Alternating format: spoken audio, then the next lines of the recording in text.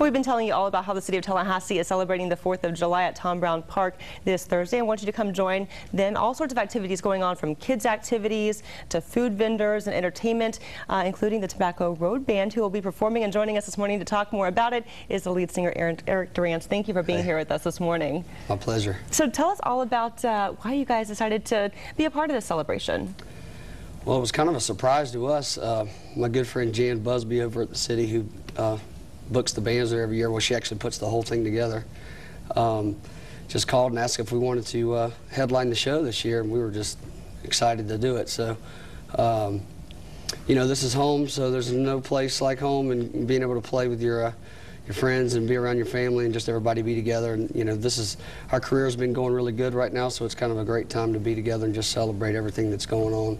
Because you guys have been traveling all around the country lately, so to be able to come home and perform for your home crowd probably Yeah. feels pretty good.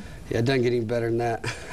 And um, talk with us. I'm sure growing up, you probably went to Tom Brown Park and, and celebrated Fourth of July. So talk with us about maybe your favorite memories at Tom Brown Park and, and what it feels like to be able to perform.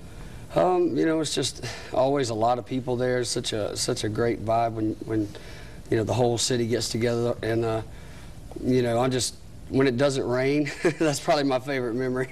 I just hope it doesn't rain this time. I know we've been getting a lot of rain, and uh, so our fingers are crossed that we that it uh, clears up in the afternoon, which normally it does. But um, so we're just looking for that, you know, Well- to have a good show. We'll get a chance to see some of uh, people's favorites, some of the songs that uh, people love to hear you guys sing, and also maybe some new songs as well. We're going to be playing a lot of new songs. Um, we actually just signed a deal in Nashville since we were in here uh, last, and so we're getting ready to announce that. We're working on new material for the new record, and just super excited about just letting everybody know and uh, hear the new music. And so taking the stage, Swinging Harpoon Band, and also Adventures of Annabelle Lynn. What time do you guys take the stage? Uh, I believe we're going at 8:30, Okay. and then we'll play right up into uh, the national anthem, and then right into the fireworks. So uh, it's going to be cool. We're excited. It's a big stage, and you know, uh, Ultimate Sound and Lighting come out. They put on a huge production, and you know, it's not often you get to play on a big stage like that. So we're we're super excited about it. Exactly. And if you want to check it out again, it's uh, this Thursday, of course, July 4th at uh, 5.30 is when all the celebration begins.